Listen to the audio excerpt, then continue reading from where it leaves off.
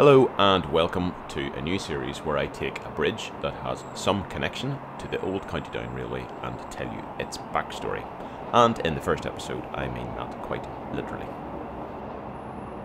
You may have wondered why this bit of the railway embankment that spans Middlepath Street in inner East Belfast is so incongruously modern and concrete compared to the lovely old stonework either side of it.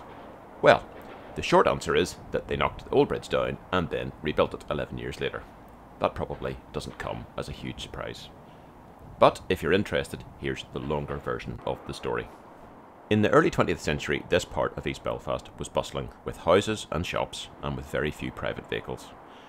This embankment was part of the Belfast Central Railway, which cut right through the area and linked the County Down Railway to the other two railway companies on the west side of the Lagan, and I talk about this in more detail in my Big Three Railways of Belfast video, which should hopefully pop up as a link when I'm saying this.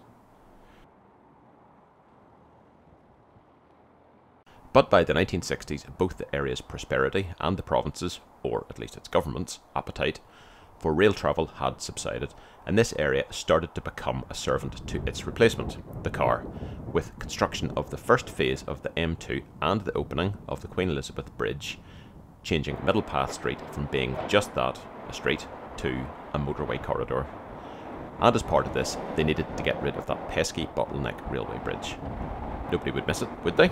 So down it came in July 1965, leaving the Bangor line, which still ran into Queen's Quay Station nearby, cut off from the rest of the railway network.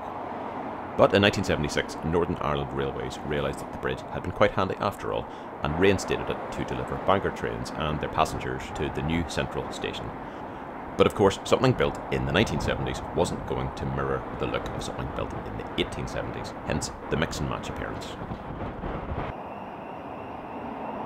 Incidentally, as a bonus bridge for this first video, the old Middlepath Street Bridge would have looked very much like this one on Bridge End just a few hundred feet away. This was the entrance to Memel Street.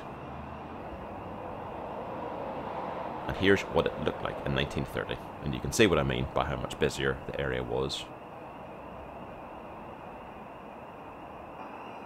If I switch to Google Street View, there's also another bridge at a right angle to this one that was at the end of the also long gone Lagan View Street.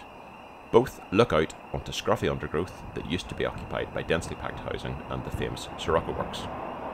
But this is one of many areas in Belfast that's due for regeneration, with the new waterside development greenlit and hopefully coming soon, if the economy can sort itself out.